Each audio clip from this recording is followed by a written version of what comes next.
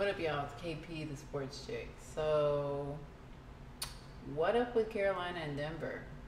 Two Super Bowl teams. Obviously, Denver won the Super Bowl, but um, they're not. They're both going in different directions going into the end of the first quarter of the season. So let's discuss. Um, Denver is four zero. Carolina is one and three. And as of this recording, Cam Newton just went out on a concussion, and it was another hard hit that wasn't called, and that's a whole other discussion. But having said that, again, Denver is 4 and 0, and we have to keep in mind here Carolina has most of their players that came back from last year, with the exception of a few notables, um, like Josh Norman, mainly because of his mouth. But for the most part, you know, most of the players are back. And the same thing with Denver as well. Most of their players have come back, but the major, major change was the starting quarterback situation. Actually, the combat, the quarterback combo uh, in general um, has changed. Like, I mean, you had Peyton Manning, Brock Osweiler last year. And now you got uh, Siemian and you got Paxton Lynch, who is going to be starting next week, incidentally, because Siemian is hurt. Um, so as of right now, he's probably not going to be playing week five.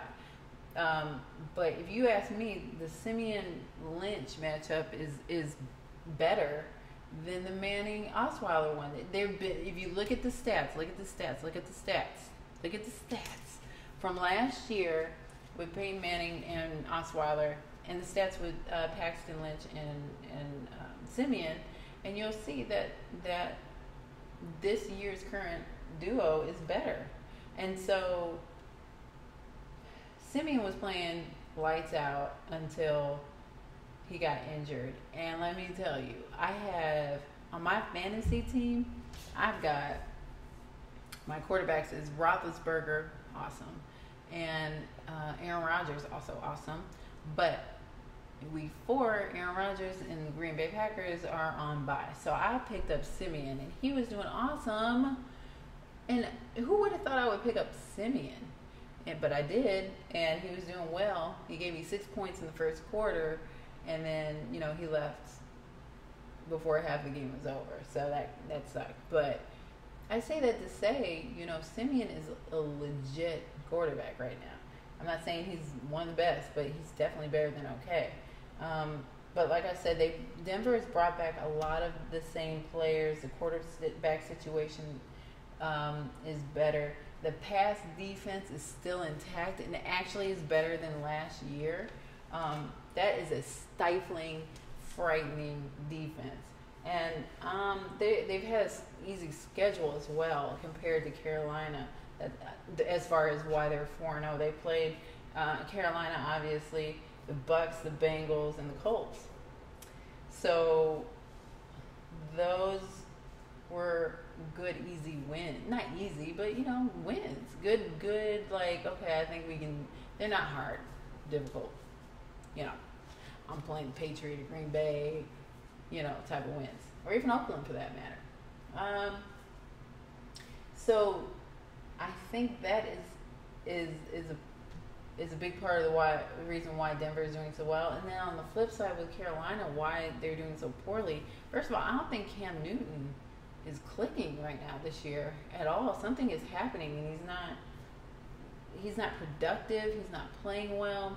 Something's up. And like I said, as of this recording, he had to leave the game uh, in week four uh, for concussion protocol because he was concussed and the hit that he got was not called. But at the same time, the hit was a preventable hit.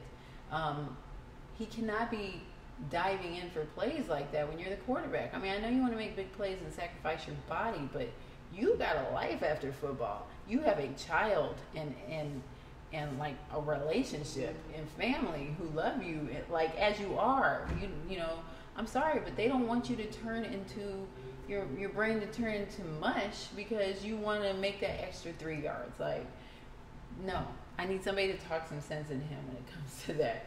Secondary is struggling. You know, Josh Norman is having a field day with this right now. You know, he said he said just today, uh, and he's uh, on uh, the Dan Le Batard show on ESPN Radio that you get what you pay for. He is loving it. He's eating it up. But the secondary is struggling this season at, at through four games. Um, they have a more difficult schedule than the Broncos as well. They've played, you know, obviously they played the Broncos, Vikings, and the Falcons. And, you know, they the the Falcons showed up, you know, when they played them. And Falcons are doing okay this year so far. Like I said, through the first quarter of the season, not so bad. Um, so mainly because of their schedules, but also because the quarterback situations. You got to compare the quarterback situations. So Cam Newton's not playing so well. He's probably not going to be playing in week five. Um, Derek Anderson will probably get the start, which is the backup quarterback for Carolina. And the quarterback situation is the key right now, and it's essentially the fact that the the Paxton Lynch uh, Siemian matchup is better than the Cam Newton Derek Anderson situation, point blank period. And the fact that Cam Newton is not playing at, at his at his um, peak like he was last year, it's like night and day. I don't know what's happening there, but they have to get it together because of, as of right now, as far as percentages go, they have a 32% chance of making the playoffs right now, which is a little sad considering where they were this time a year ago. So, um, my stance on Denver and Carolina through the first quarter of the season, I'm going to be following them throughout the season quarterly, uh, giving updates as far as their progress because it, it's it's interesting to me how you know Denver lost their franchise player uh, due to retirement and, and are still just chugging along. Meanwhile, Carolina has its franchise player and are struggling, it seems. So there has to be some players only meeting, some coaching, uh, shake up. Something needs to happen over in Carolina uh, in order for them to salvage the rest of the season. Uh, really. So you got anything to say about it? Hit me up, kpthesportschick.com. It's my sports hub for everything KP Sports Chick related. Um, my social media links are there.